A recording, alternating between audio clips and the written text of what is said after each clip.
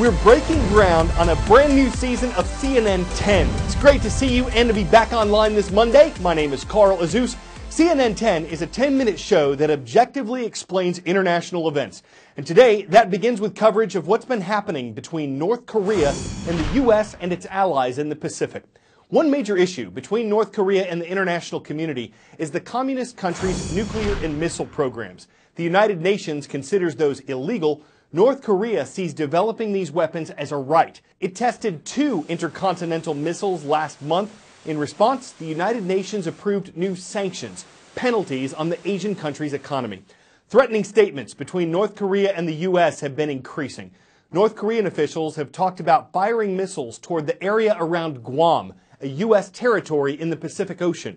And though U.S. President Donald Trump has expressed hope for a peaceful solution, he's also said that American military options are, quote, locked and loaded for use against North Korea.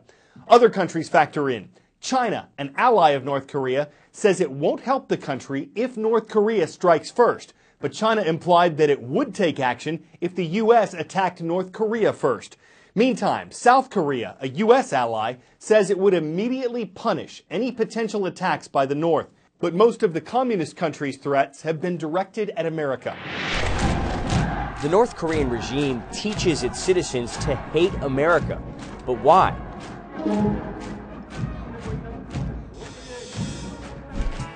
It began with a war that's almost forgotten in the United States. After World War II, two superpowers divided the Korean peninsula along the 38th parallel. The Soviet Union occupied the north, and the United States the south. This resulted in the creation of two separate states the Republic of Korea, or South Korea, and the Democratic People's Republic of Korea, or North Korea. Most historians say the North invaded the South on June 25, 1950, when the Korean War began. This is war. The North tells its citizens America actually started the war. Over the next three years, around 1 million North Koreans died in the fighting, including an estimated 600,000 civilians. Active hostilities ended in 1953, but technically the war is still ongoing because no peace treaty was ever signed a fact North Koreans are never allowed to forget. Since then, the country's founder, President Kim Il sung, his son, General Kim Jong il, and grandson, Marshal Kim Jong un, have all dialed up the anti US rhetoric, including blaming the US for international sanctions they claim have caused North Korea's economic woes. Making America into an ever present threat has helped the Kims unify the nation behind their regime recent escalating tensions between Washington and Pyongyang only help promote that narrative, keeping the population focused on an external enemy, the United States, and having zero tolerance for political dissent.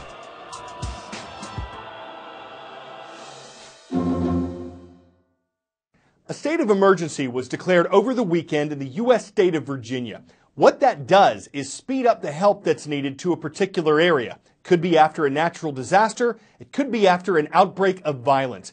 Tensions were high Saturday in the city of Charlottesville.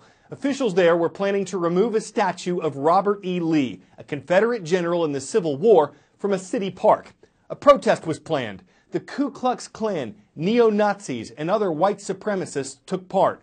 They called the event the Unite the Right rally, but it never really got started. A counter protest had also gathered that day. Left wing demonstrators and anarchists joined it, and the two sides started fighting each other. Punches were thrown, pepper spray was used, at least 15 people were injured. The violence became deadly when a car was driven into the crowd of counter protesters, killing one person and injuring 19 others. The suspected driver was arrested. Two Virginia state troopers were also killed when their helicopter, which had been monitoring Saturday's events, crashed into a wooded area nearby. Officials didn't immediately know what caused that. On Sunday, church leaders and political leaders in Virginia and Washington, D.C. spoke out against the violence and hatred in Charlottesville. 10 second trivia. What is the term for the complete shadow that's cast when the sun's light is blocked during a solar eclipse? Umber, umbrella, umbra, or umbo? That shadow is called the Umbra, and millions of Americans will be in it next Monday. It's being called the eclipse of the century for the U.S. because it's been 99 years since a total solar eclipse crossed the country from the Pacific to the Atlantic Oceans. CNN.com slash eclipse has a lot of fascinating facts about this celestial event, and CNN 10 will be featuring reports on it all week ahead of the August 21st eclipse. We're starting with the basics. What exactly is a total solar eclipse? The sun, the center of our solar system and the life force of planet Earth. Since the dawn of recorded time, it rises in the east and sets in the west. But every 18 months or so, the dance of planets, moons, and stars creates this incredible moment a solar eclipse. In space, the sun, the earth, and the moon orbit in predictable patterns. The moon around the earth, the earth around the sun, even the sun around the galaxy. During a solar eclipse, however, the moon moves between the Earth and the Sun, blocking the sunlight and casting shadows onto Earth. An eclipse can be partial or total, depending on how these celestial bodies align. A total eclipse happens when the moon completely covers the sun. In this awe inspiring moment, only the sun's outer edge can be seen, revealing a halo like corona. And day suddenly turns to night for just a few minutes. Tony Hillery and many of the kids he started working with six years ago had a couple things in common. They lived in the New York City neighborhood of Harlem, and they had never planted anything in their lives. Here's how that's changed for him and thousands of young people every year. I was a business owner, and the financial crisis hit me like it hit everybody else. And to stop from dwelling on that, I started volunteering at a public school in Harlem. Pass, pass it, pass it! What kind of shot was that?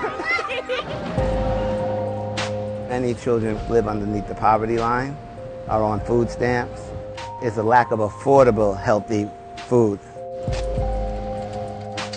I met a young girl who told me that tomatoes grow in the supermarket. The other students, they had no idea what is healthy food or where it comes from. Are you guys ready to do some farming here? Yeah! All right. Right across the street from the school was an abandoned community garden that we turned into a thriving urban farm. Come on, let's get busy. All the hustle and bustle is just outside the gates. And then you come in here, it's so peaceful. It's a safe green space right outside their door. Remember, you want your hole to be deep like this. All the planting is done by the children. They fall in love with the land, taking that one seed planting it, nurturing it, tending it, and then watch it bloom. Got it. That's lunch tomorrow. Hello, guys. We're in six elementary schools here in Harlem. We build a small hands-on garden just for that school. Let's talk about favorite vegetables. We're in the school every day, and we have personal relationships that we develop with each child. Everything we grow is free of charge to the children and their families. So is the worm good or bad for our garden? Urban farming is what gets the kids engaged. Three pounds and three quarters? Yeah. That's one real big salad. Whatever piques their interest, we find the opportunities for them to pursue it as far as they can. I'll be taking AP Calculus, AP Microeconomics. We have these children on track to go to college. They want to be CPAs, engineers, architects. They want to write code. Be proud. Come on, give me some. They can be anything they want. They can achieve anything they want. We're sowing seeds of hope.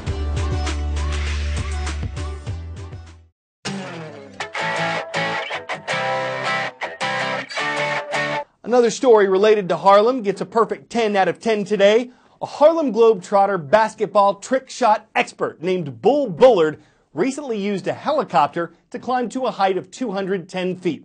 From there, he took a shot and made it, apparently breaking the world record for the highest basketball shot made from a helicopter. The fact that it's one handed and tossed out kind of casually makes it all the more awesome. It was not done in one try, but like the pilot, you still got to give him props. He put his own spin on the trick, he never hit the skids, he'd probably rotor do nothing else, and for us, it was just a great story to hover. That's all for our season's first edition of CNN 10. I'm Carl Azuz. We hope to see you again tomorrow.